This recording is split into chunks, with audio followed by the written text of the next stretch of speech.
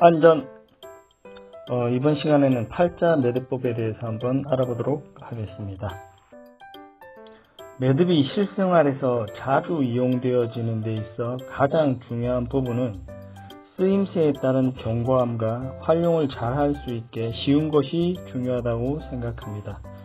그 아무리 좋은 매듭법이라고 해도 어렵다면 자주 사용하지 않는 한 쉽게 잊어버리기 마련입니다. 그 팔자 매듭법은 활용도가 높고 견고하며 매듭법 자체가 까다롭지 않아 알아두시면 유용할 것으로 생각이 됩니다. 충격에 강한 매듭법으로 낚시나 등산 또는 이 건설 현장에서도 사용하며 가정에서는 그 빨래줄을 설치할 때도 사용할 수 있습니다. 가장 기본이 되는 팔자 매듭에 대해서 한번 알아보도록 하겠습니다. 어, 매듭법의 명칭과 같이 숫자 8을 연상하시면 될 것 같습니다. 어, 줄의 길이는 어, 그 자신의 사용 그 용도와 이 줄의 두께에 따라 가지고 어, 그 길이를 책정하시면 되겠습니다. 이런 식으로 반을 접어 주시면 되겠습니다. 자, 이 움직이는 줄이 이런 식으로 위에 기준 움직이지 않는 기준선에 위에 놓이게 되어 있습니다. 이것을 한 바퀴 아래로 한 바퀴 아래로 감아줍니다. 이런 식으로 감아주고 줄을 이 주, 움직이는 줄을 이 원 안에 넣어주면 됩니다. 자 보시면 숫자 8이 연상되십니까? 이것을 뒤집으면 뒤집어도 숫자 8이 연상이 됩니다. 그러니까 반대로 줄을 기준선과 줄을 이렇게 위에다 놓고 하셔도 되지만은 반대로 밑에다 밑에다 놓고 하셔도 똑같이 완성이 될 수 있습니다. 그 밑에다 놓았을 때는 반대로 위로 한번 오고 아래에서 위로 이렇게 만들어 주시면 되겠습니다.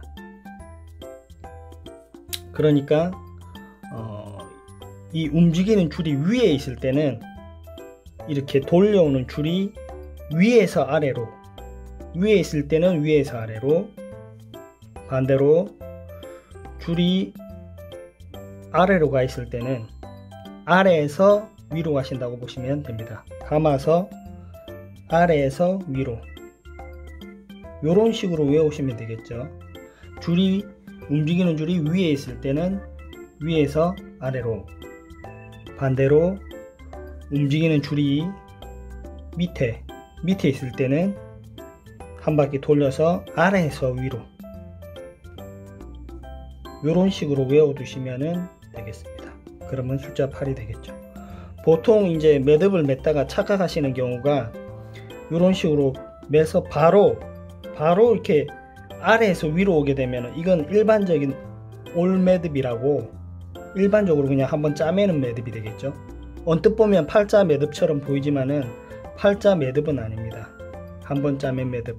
그러니까 이 팔자 매듭을 매실 때는 그 부분에 유의하셔서 매시면 되겠습니다. 자, 다시 한번 해보겠습니다. 자, 위로 갔을 때는 한 바퀴 감아줍니다. 반대편으로. 그리고 위에서 아래로. 자, 이런 식으로 팔자가 완성되었습니다. 다시 한번. 이번에는 줄이 움직이는 줄이 아래에 놓여 있을 때 아래에 놓으실 때도 이렇게 한번 감고 아래에서 위로 아래에서 위로 이런 식으로 팔자 매듭이 완성이 되겠습니다. 구분 동작을 살펴보겠습니다. 끝선을 이용해서 원을 만들어 줍니다. 그리고 기준선을 한번 감아줍니다. 그리고 그 감은 기준선을 첫 스타트가 위에 있었으면 위로, 첫 스타트가 아래에 있었으면 아래로 넣어줍니다.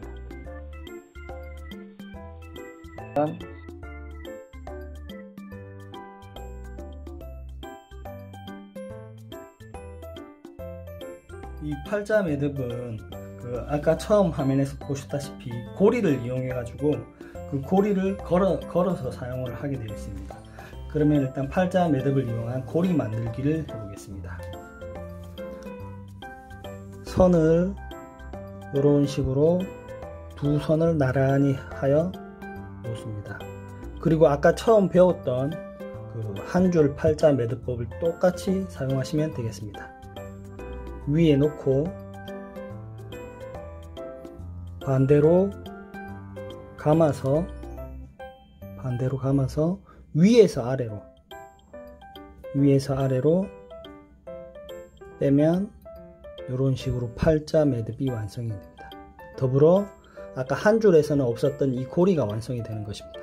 이 고리를 보통 어, 떤 물체가 있을 때 위에서 이렇게 걸었을 때 걸 수 있는 물체가 있을 때 이런 식으로 안전바라든지 뭐 안전 난간대라든지 뭐 그런데 이렇게 걸 수 있는데 사용을 하시면 되겠습니다.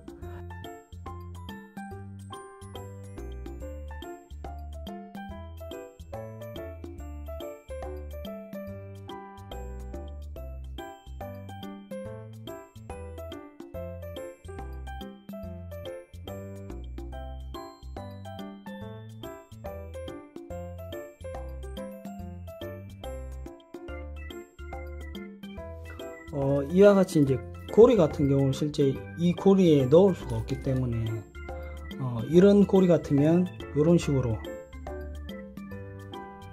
넣어서 사용을 하면 되겠지만 이 동그란 고리 같은 경우는 입구가 없기 때문에 이 고리에 넣는 방법도 한번 보여드리도록 하겠습니다. 먼저 기본이 되는 팔자 매듭을 만들어 보겠습니다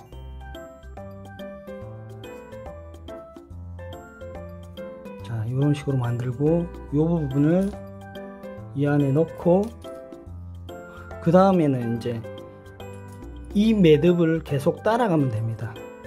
그냥 아주 쉽습니다. 그냥 무조건 따라가면 됩니다. 왔던 길을 돌아가면 됩니다. 이런 식으로 넣고 아래에서 넣고 또 밑으로 가고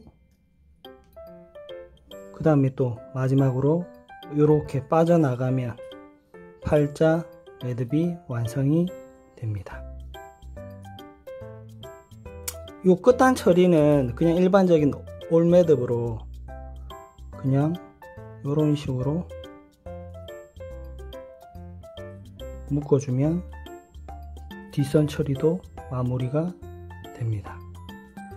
이런 식으로 해서 그러니까 보통 뭐 팔자 매듭이고 뭐 쌍팔자 매듭이라고도 이야기를 합니다.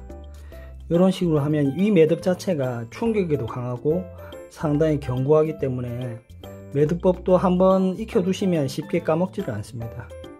이런 부분들을 참고하셔 가지고 낚시에도 어, 이런 부분 찌하고 봉하고 연결할 때도 사용을 하시고 실제 등산하실 때도 그 안전고리하고 어, 실제 어떤 물체를 감을 때 넣을 때도 사용을 하고 있습니다.